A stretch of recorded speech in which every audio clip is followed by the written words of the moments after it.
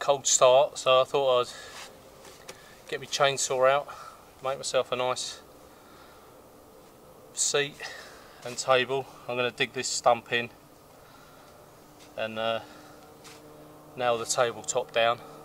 So I was in two minds where to put it. I was going to have it over there, but I think it'll be quite nice here, right near the fire. Obviously, can move it, move the chair when I want to, but I'm to, like I said, I'm to dig this in. So this will be really, really practical. Another place to sit and eat. Sweating now. That's the thing when it's cold, you, you want to do more to keep warm. So yeah, it's to work out, work out really nice. And I always wanted to make one of these. So that's quite, that's quite comfortable as well. So yeah, very nice. Maybe dinner tonight on here. That gorgeous morning. This will be the coldest morning so far. I think it was. Well, oh, when I went for a walk, it was uh, it was frosty, so definitely the coldest morning. But gorgeous. Like I said, I always I like these temperatures. You know, cold and calm, and hopefully the sun will come out. But what do you think, guys? I think it's a nice addition to the camp. I was going to do me me shooting range, but kind of got waylaid with this.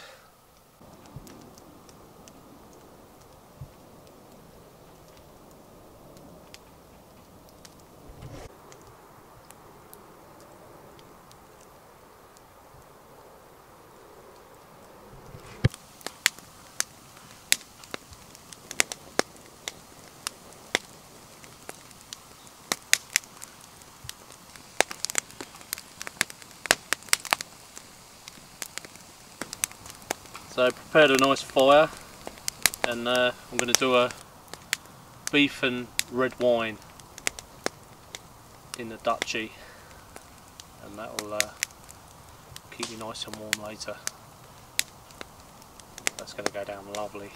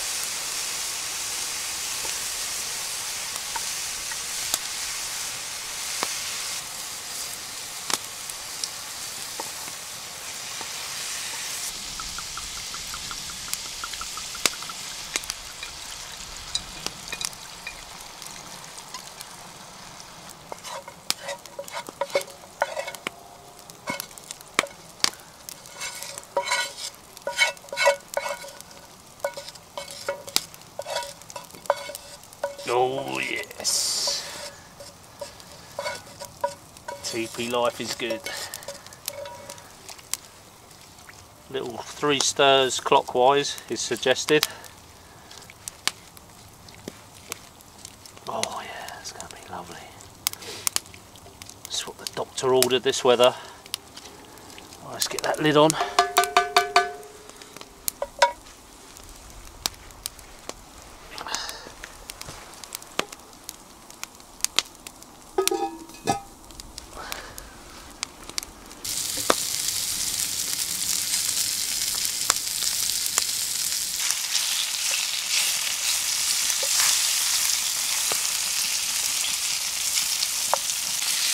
Pan fire.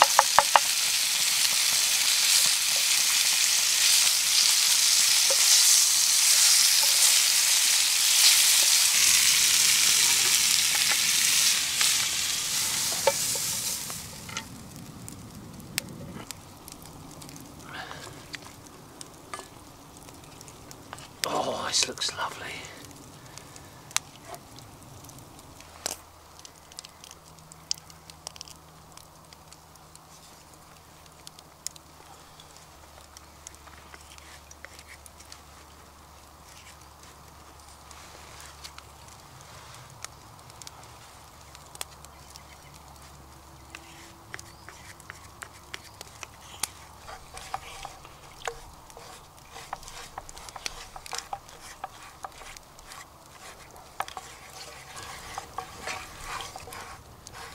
So a nice bit of tomato puree in there and a bit of beef stock. Add some more flavours to the pot.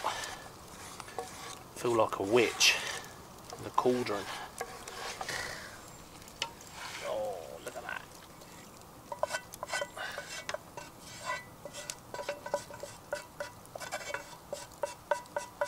Eat heart out, Jamie Oliver. So I'll call this section Bush Tucker time, I think. Not Bushwacker time. This is definitely Bush Tucker, isn't it? So this will last me two, maybe three days, depending how much I give to Buster. So perfect, look at that. On a nice winter's morn.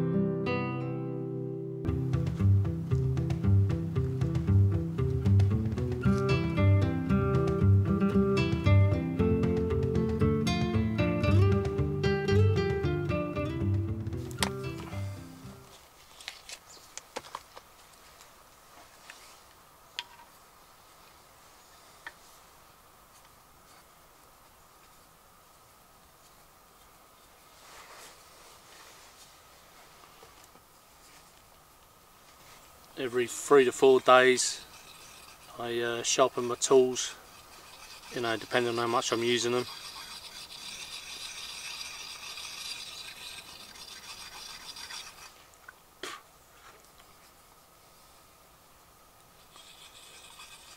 So I'm just using a DC4 block. I brought that with me for the axes and the hatchet. And then my knife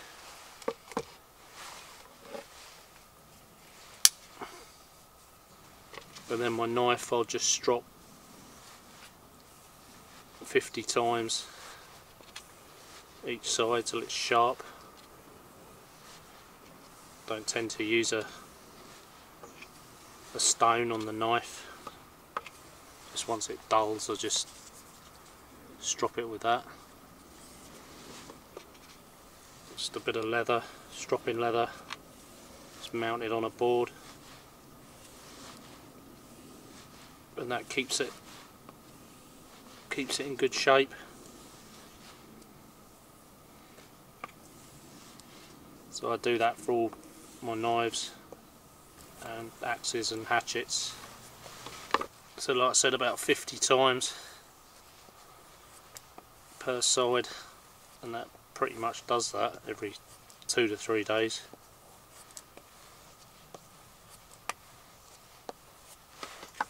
and I'll do the same with my with my big knife. That needs a bit of a clean first before I strop it.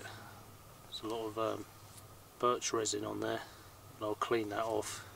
And then uh, I'll strop that.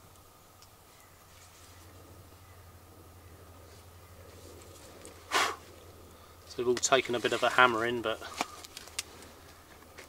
it's nice uh, nice having your tools. And I've got my other my other boar knife which I haven't used a lot of. But I do like um, TBS knives. So I use use that one. But I haven't really used it much this trip. I've I've been using their folding knife.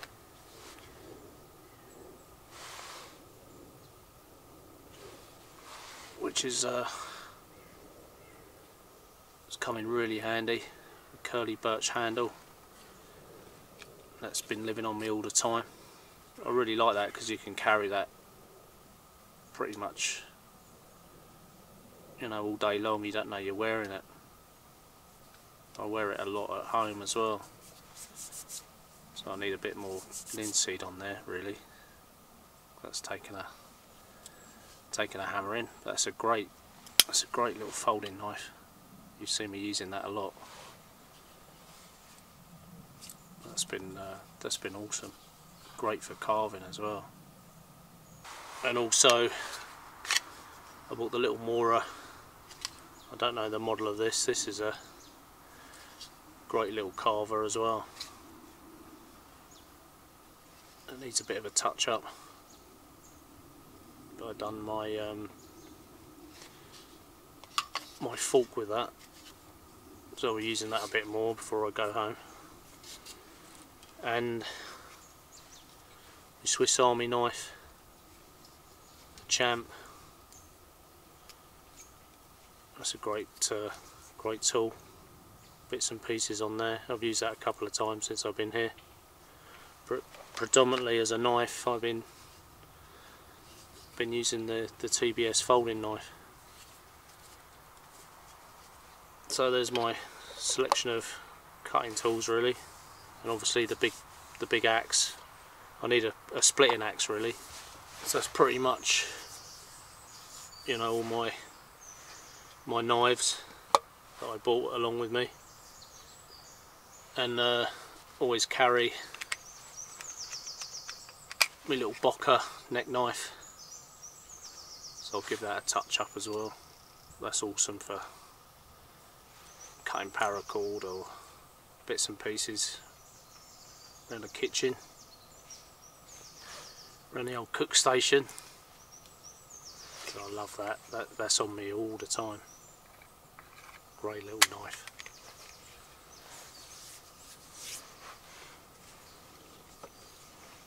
But it's a lovely day so I thought I'd sit under here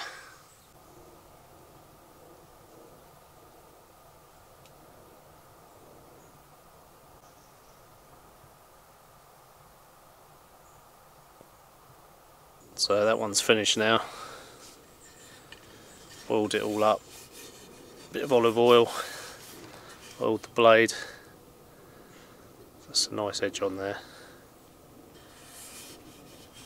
So it'll keep me going for another two to three days. Plus the damp. Damp won't get to the blade. Nothing worse than your tools going rusty. Because you pay quite a bit of money for them so best to look after them. So, on to the next one. But I think an important skill if you're going to be uh, out you know longer than a weekend is to uh, learn how to sharpen your tools you know once they dull once they go dull that's uh, that's a tool rendered useless really then they become dangerous. So definitely uh, learn the skill of sharpening. But a knife is, you know, quite easy with a strop. With a strop, you can't really go wrong. And just keep keep regularly doing it. So that's quite that's quite a nice edge on there now. And that's like I said, about 50 50 strops each side keeping it even.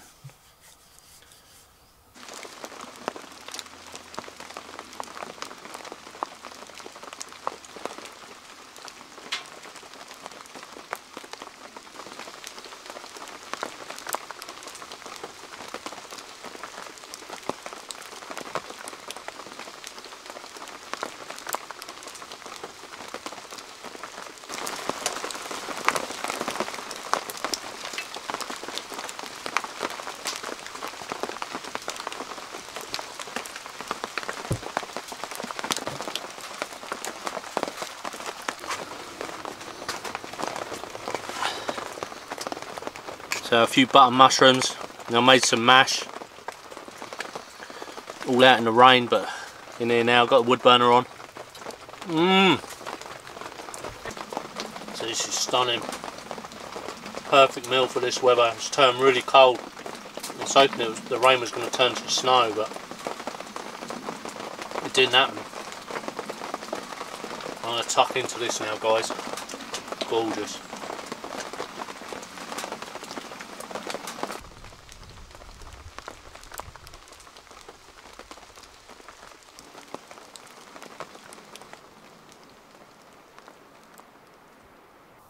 Chilly one tonight guys.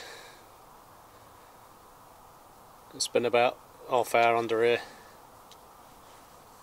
Let's chill out before bed. I've got the wood burner on inside the teepee, let that warm up and then I'll I'll be diving in.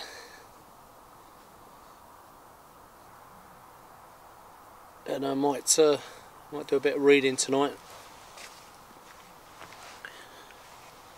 Oh, it's gorgeous under here lovely little lean-to but it's definitely uh, definitely turned chilly. So I've got my base layer on and my trusty wool jumper and my uh, my anorak. And my reed thermal that's keeping me quite warm. Fire's the fire's gone out so no fire out here tonight. Just body heat. Yeah it's definitely turned. But it's, it's nice like this. So I'm just having a bit of a smoke after my meal. I'm on the uh, electronic ignition. Well not ignition electronic uh, e-cig as they call them. I used to smoke for a few years and I went on to this. But uh, one day I'll have to try and knock this on the head. But I do do like a smoke after a meal.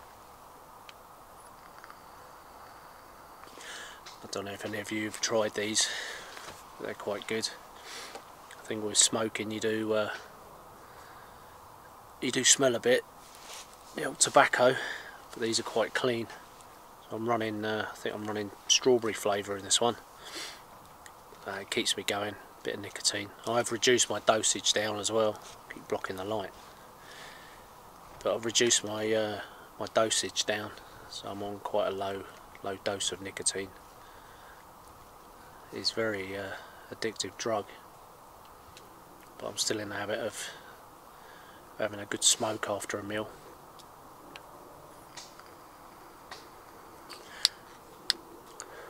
They do kick out the smoke.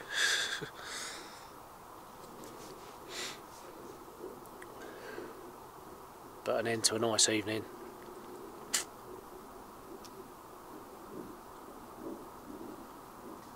So comfortable up here, like I keep saying.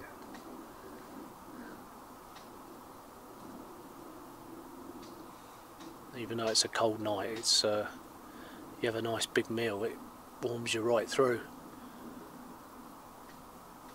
It's quite good eating late because you get all that that energy from your food.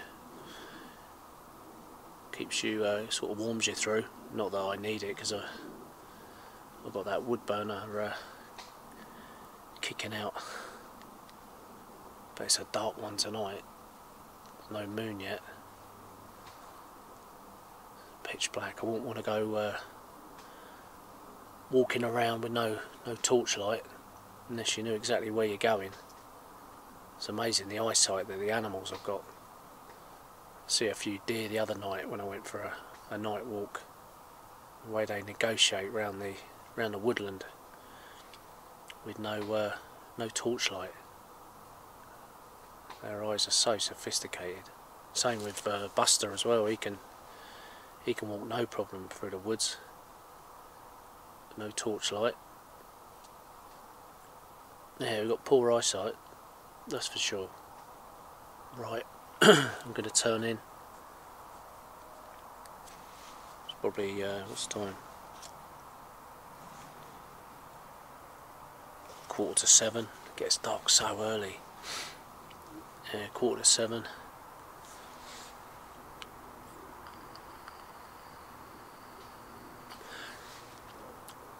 Turn in.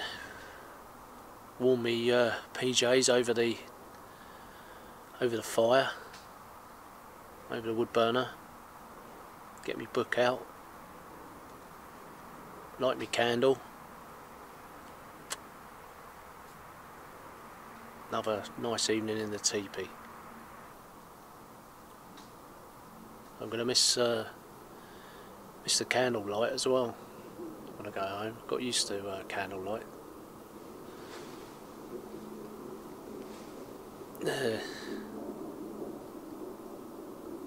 lovely, uh, lovely light. Not like the, uh, not like that torch. That's pleasant glow and the lantern behind me.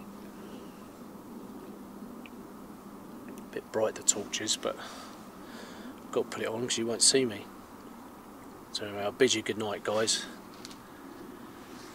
and I'll see you tomorrow. Morning, guys. So the time's come, the end of the series. I'm uh, sad to see it come really, but it's been absolutely awesome. So thanks to for this TP making it really comfortable during my period, during my six weeks period here. Thanks to the camp and obviously Mother Nature for supplying me this great venue. And thanks to you guys my loyal subscribers I hope you've really enjoyed the series. Hope it's inspired some of you. Hope you've learnt a few things along the way. I certainly have. So it's sad to, to wrap this one up but all, all good things come to an end so I'll see you on the next one Enjoy the great outdoors guys. Cheers. Buster, come and say goodbye. Buster, come and say goodbye. Come here, sit. Sit, say goodbye. Good boys. Say goodbye. Come here. And uh, I've got to say Merry Christmas to you all. And uh, have a great great new year and uh, stay well. Cheers guys.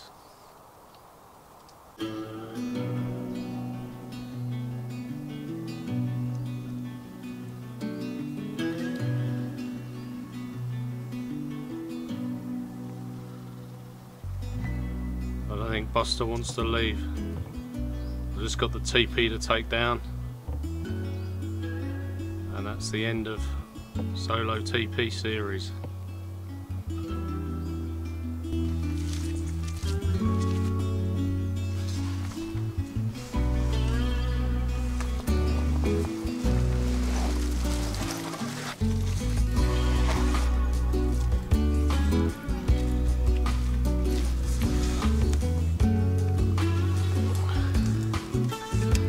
Six weeks solo in a teepee, done. Cheers guys, enjoy the grey outdoors.